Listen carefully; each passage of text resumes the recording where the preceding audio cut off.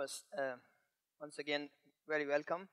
Uh, those of you who joined later, uh, my name is Shahid and I've been working at SICS since 2008. Thiemo Voigt is here, who's the guy who hired me for the at SICS uh, nine years ago. Uh, I started with a master thesis here and continued my PhD at SICS and now working as a senior researcher in the networked and embedded systems group. And since January, I moved to the security lab as the head of security group. So today it's, it's, a, it's not a very typical presentation for me because I, in all previous presentations, I mostly talk about the research, what I do and so on. But this is a lab presentation where I will present what we do in the lab.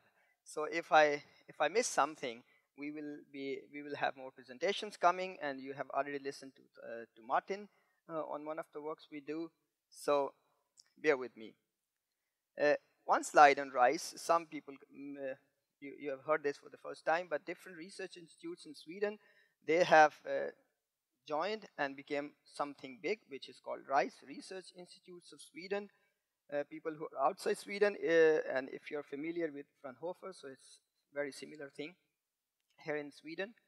Uh, and uh, this is funded by Swedish government and uh, different research projects in the EU and Swedish level. RISE SICS Security Lab, Uh, it consists of 16 full-time researchers, uh, three affiliates, which makes it, I think, the biggest uh, research group in, in Sweden we are at two different locations. We are in the Stockholm, Kista, and then and uh, down in the Lund. Almost equally on two different places. So uh, when it comes to science, we, we cover different cybersecurity topics. Being a, such a big group, uh, we, we focus on, uh, on, on different basic uh, uh, cybersecurity research problems, also applied in system security as well. So some of the keywords are here. Uh, if I go into more featured or focus areas where we have many activities going on in the lab, uh, it would fall in IoT, Internet of Things, which is, I think we, we, we have five projects uh, there and we are covering about six people in the lab are working and focusing on this area. And this is my, my own research area as well. I have my PhD in this, in this topic. Uh, the se second topic, which uh, uh, where we have, I think, uh, we have a unique capability when it comes to research groups is the 5G and cloud security. We, we, are running three projects in these two topics they're kind of overlapping. Uh, and then we have platform security where we where, where we have uh, the focus areas are, are, software security and formal verification hypervisor i'll come back to this we also work uh, on privacy, both from the social science perspective and also from the technical perspective. We have a guy uh, who, who is a social scientist, an expert in new GDPRs, uh, new regulations. Uh, so he is uh, uh, mainly focusing on the social sciences side of, of, of, privacy, and we have a European project going on on the on the digital privacy or trust as well. And last but not least, like many other players, we, we are also interested in and uh, currently we're running a, a self-funded uh, activity on, on blockchain where we are mostly interested in blockchain for IoT and we have a publication on this uh, under submission as well. Uh, and we have applied a, a couple of projects uh, around this blockchain as well and we hope to start some serious uh, long-term activity on, on, this topic as well. So I start with the IoT security. Uh, I've been showing this slide maybe now eight years uh, with new pictures. uh, uh and uh, before I really have to convince people that IoT security is very important. We have to work on this because threats are coming. But now I think the job is very easy. You have you have seen the real threats such as Mirai in, back in last year October on the on the on the DNS attack, which resulted in many websites, uh, Amazon, Spotify, you name it, they were down for hours. And that was a real attack caused by the IoT. But that was not a real IoT, that was cameras. But now we, are, we have other billions of battery power devices and sensors and TVs and coming, and the, the situation doesn't look, look very good. Uh, and uh, the main issue is that security is primarily ignored in all these deployments we have, and it's considered as an add-on just to get an early, early, market share. But after these attacks, I think the feeling is being developed uh, that it's not, a, not, not an add-on, uh, but it should be built into the design. Uh, and this is apparent from different funding uh, funding bodies and funding agencies. They are also putting a lot of money in, in cybersecurity, uh, especially in Sweden. So uh, I, I, dig deeper into some of the uh, work we are doing and have done uh, in this area. we have a project, ongoing project, CyberWe, which is a Celtic Plus project, where we, we, we worked on, on SICS is primarily working on the standardization of IoT security protocols. It's important that what we do should go to the standardization, have a cross-vendor interoperability and wider adaptability. So this project where SICS is mostly focusing on this, we have a presentation by Göran Selander later on who, who will enlighten us with much more detail on this topic. Uh, smart grid security is also something which we have started quite quite early. I think this is the only maybe European project which is called FP7 uh, still running. The program has ended, but SEGRID is still going on, and it's a FP7 project ending end of this year. So we have few more months to work on, and this is uh, this is the project on security in smart grids. Uh, Active is an EIT project, which is a very applied project where we are actually deploying and testing the solutions we had been working on on IoT security uh, together with uh, different partners, including uh, Ericsson Research and Ericsson Finland. And last but not least, this is my personal research area, is IoT security for very constrained devices. And there are two projects on this, CEBOT certificate enrollment on in billions of things and secure IoT. And, and you have listened to the Martin's presentation uh, on this topic before.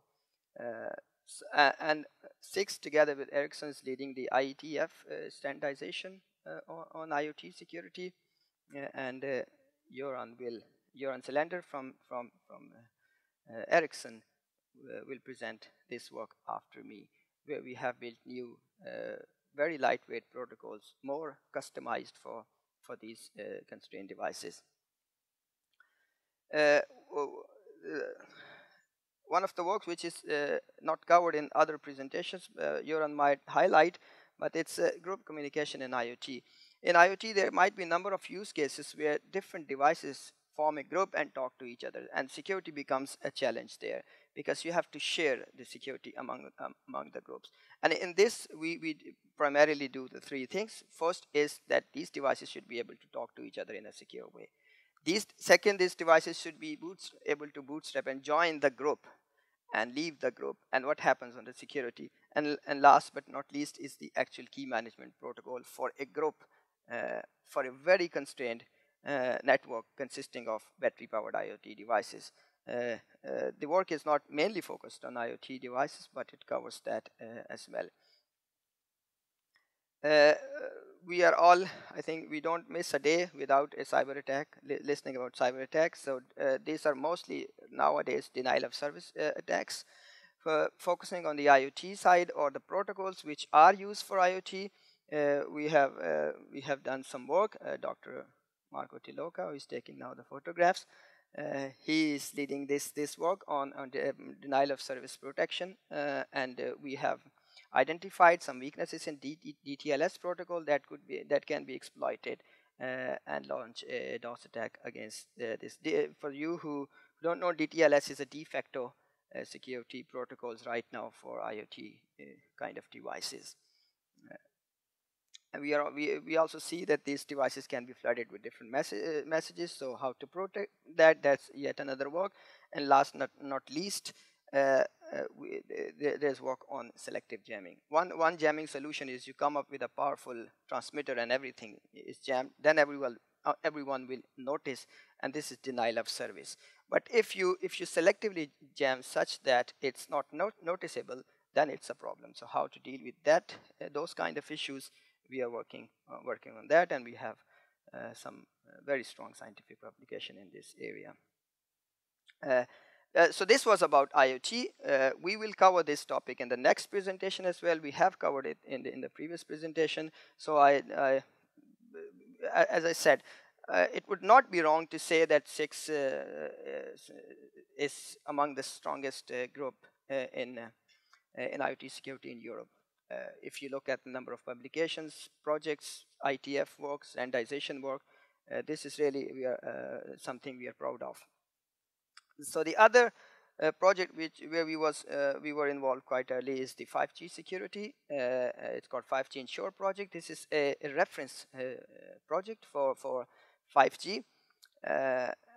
very huge project where where the goal was to develop a security architecture for 5G uh, and identify different use cases. For some people, 5G is everything, but this project is very specific to 3GPP uh, though it of, uh, of course covers the IoT part and other use cases, it has developed uh, security enablers, test belts, and contribute contributes to the standards.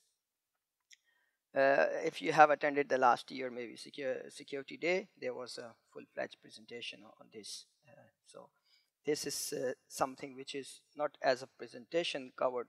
Maybe Antonis will, the, the one of the presenter later will cover part of the work which is also now we are using in another project. So cloud security are which is related to the 5G security work we are doing. Kind of similar people are involved in these uh, two projects. Um, uh, the Christian Gehrmann, who is the ex-head of the security group, this was his main area of research as well, uh, which is uh, and there we are we have also made some really good progress.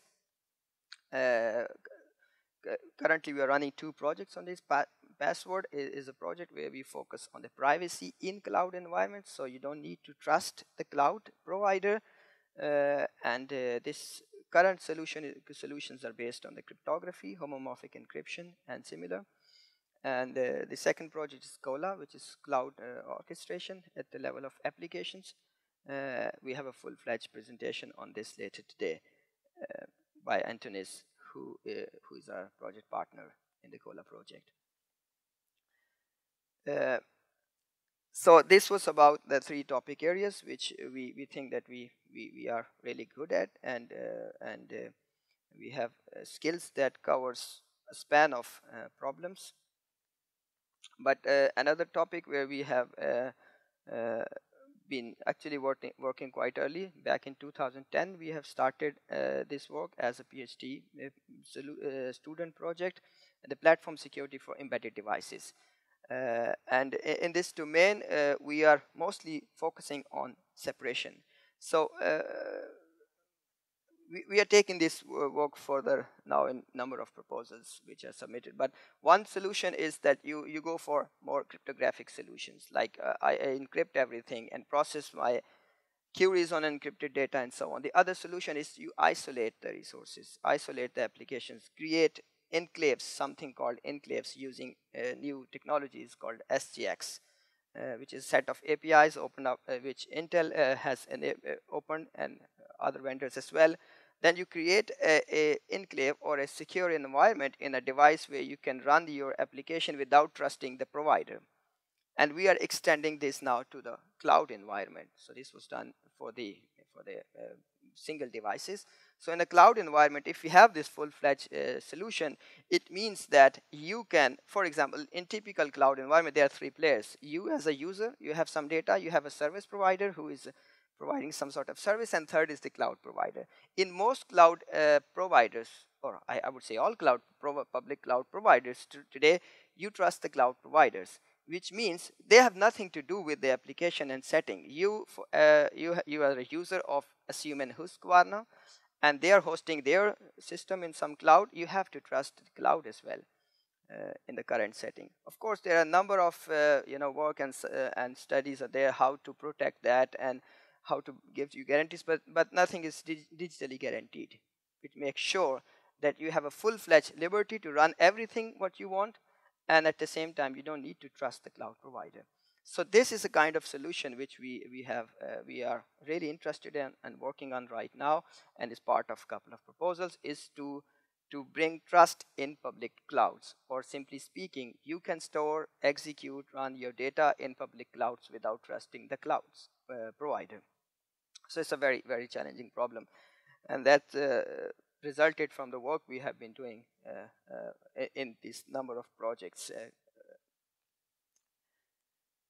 Uh, uh, uh, just an example, this is uh, something we are really proud of, and Arash later today will, will, will cover this topic in detail.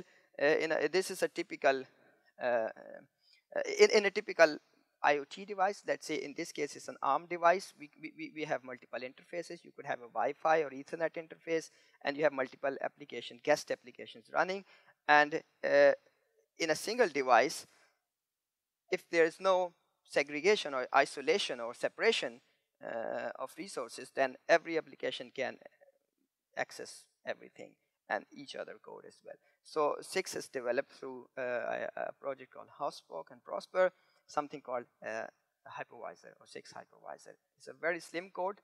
Uh, of course, someone argued that what if there is a bug in the hypervisor uh, itself as well because it's a piece of code then we, we have performed the formal analysis of the entire uh, the hypervisor so now it is the, the the the solution where you, you can use one device and run multiple applications in in I would say complete isolation is similar to having three devices running three applications and they cannot access each other. Uh, and this uh, SICS hypervisor, we are using it in, in number of uh, projects. Uh, currently, it's being used in the SEGRID, the smart grid project for the smart meters. And how can we segregate or isolate resources on, on those on smart meters? So as I said before, Arash, uh, who is a senior uh, researcher in, in, in the security lab, he will give a talk on, on, on this topic or maybe more. I haven't seen the presentation, but I think uh, he will cover this. Another uh, topic, uh, I, as I mentioned, is the privacy. So we look both from the social scientist and the technical perspective. The, the previously, I've shown you a pass PaaSword project where we work on the cryptographic solutions for privacy. Uh, uh, but here, this is a social science uh, work. Until recently, privacy was not really pushed by, by industry. Fortunately or unfortunately, Google was not interested or not, no big player because they, they have to use the data. You have to sell your data. But uh, fortunately, uh, uh, because of the new regulations that we call GDPR, General Data Protection Regulations, they have to do this. They have to protect your privacy if they are using your data. So I have a couple of slides on this work, uh, and this is also part of our uh, uh, couple of very important proposals we have submitted, and we will continue some fundamental research in this area as well, uh, especially with a focus on IoT. So two-third IoT devices, they generate personal data. And if you look at the tools and techniques today for protection of uh, data, they are not applicable for or useful for IoT devices, even not in the bigger devices, uh, computer or mobile phone uh, class of devices. So for those who, uh, I, I, I, hope every one of you has at least heard of GDPR, but uh, those who, who, who, don't know, it's a new regulation coming uh, May 2018, next year. And if you don't comply with this as a company or as a user of a data, uh, a penalty up to 20 million or 4% of global profit will be will be charged. So uh, that's why privacy has become uh, an extremely important area with the, for, for the industry who we, uh, we, we talk to. So there are different uh, uh, things or nitty-gritty details, but if you if you go to a high level, there are five things in the GDPRs that you have to do. You must have to do if you if you want to avoid this this uh, this penalty. One is right to be forgotten. It's named as now right to be erasure. That you as an individual, when you give your data to a provider or a third party, they should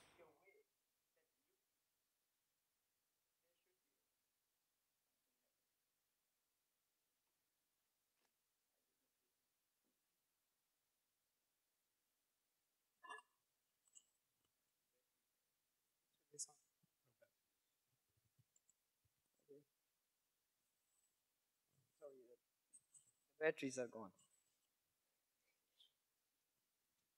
So uh, right to be uh, uh right to erasure uh, or right to be forgotten is one of the toughest thing to implement uh, because uh, there's not a single one-to-one -one relationship. I send something to you and you use my data. There are a number of players who can see and use your data. So how you enforce this? That when you say delete my digital footprints and someone clicks a button and everything is deleted. So it's not challenging, but it's by law mandatory to do you have to do something to make sure that when user asks for data deletion or data erasure, you should have a mechanism. Privacy by design, it's a fundamental right and principle. You should have, uh, there are different ways to, uh, okay, I should be quick. So there are different ways to do uh, uh this, for example, to collect as little as needed, so absolutely needed. Other ways which I have covered in other presentations. For example, you have a, if you are using a public cloud, it should be by default privacy preserved, which means the cloud provider has nothing to do with your data. It should not be able to see your data. So those fundamental research problems are part of this uh, as well. Consent is uh, one thing which is also mandatory and it, it's a bit hard in IoT devices when the, in fact you have no interfaces to, to ask for the consent. Uh, right to portability is another important, for example, you, you own a Volvo car and it collects your data and tomorrow you go and buy an Audi, and then there should be a mechanism that you ask Volvo car to send my data to Audi in a secure way that no one else can see. Uh, and breach notification automatically built into the system that if there is a breach, it should be notified to the owner of the data somehow. And of course, the, the, the, the people, uh, the, the organization who use uh, personal data, they should have a mechanism of, or process for risk and assessment management. Uh, as I said before, when uh, this is very challenging even in the systems we have today, but when it comes to IoT, this is extremely challenging, uh, challenging problem. and, and we are really interested in working in this, and, and, and we, we, we are somehow working, but we have, a, again, some funding proposals under submission. If we get that, we will have a serious activity in this domain. So uh, I will wrap up with uh, this is a quick list uh, this is not everything that we, we are doing or want to do in the coming uh, years. Uh, but IoT security definitely will continue this work.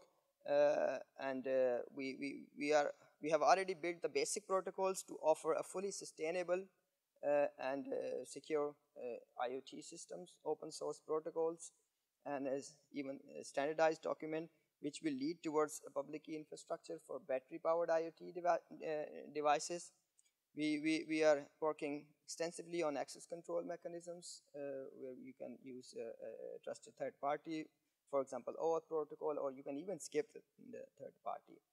Uh, uh, and, and if you have these solutions, we can offer a sustainable security, which means there will be mechanisms to, to, to, to automate, uh, to update the firmware uh, using the strong security guarantees. DOS protection is definitely a topic for us uh, to continue because most recent attacks are basically DOS attacks uh, using IoT system. Standardization work will definitely continue in the in the IoT domain.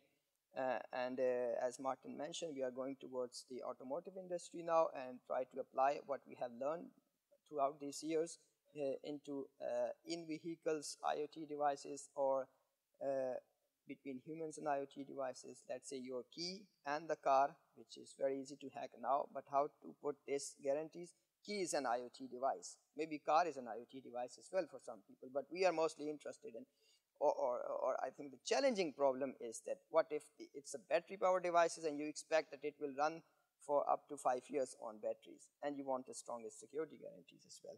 That makes it very challenging. Uh, as I mentioned before, uh, we are really interested in blockchain. We have in-house activity going on uh, both at the security lab and uh, also we have a, a, blockchain innovation center at SICS which Babak Sadighi is le uh, leading. So together with that center, we are really interested to do fundamental research in this, in this topic. And we have, uh, technically speaking, we have the expertise. We have uh, cryptographers in the lab who can do or develop lightweight crypto for, for blockchains. We have privacy experts.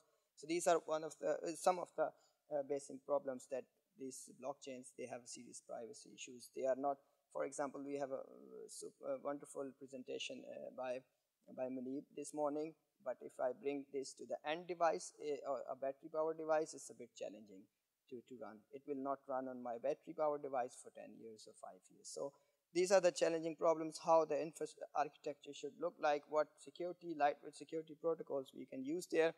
Uh, we are very interested in that. On the cloud side, of course, they, we will continue with the orchestration and, and slicing and Industry 4.0. Uh, uh, we, we, we have activities under submission on these topics. Uh, and I mentioned GDPR and software security for IoT is another activity we have. Because if you have the best security communication protocols and everything, and if you have a bug, then uh, yeah, you're done. So software security is, is very, very important for IoT, uh, very constrained devices as well. And that's it. This is a quick list, or not a, full list of partners, but some highlighted partners where we, we have ongoing activities going on. Pardon me if your logo is not here. I, I did it uh, very quickly, but I hope you are there. This is, uh, I have two slides on what our, our, our, partners say that. This is from the Ericsson. I'm very thankful to them uh, that they have recently written a blog on our IETF and uh, lightweight security protocols work. Uh, this is another uh, blog by, by Nexus. Something in German. I think it's, it's positive, but I don't know what it is. Uh, and then uh, there's a blog on, on the Seaboard, Seaboard project. And thank you very much.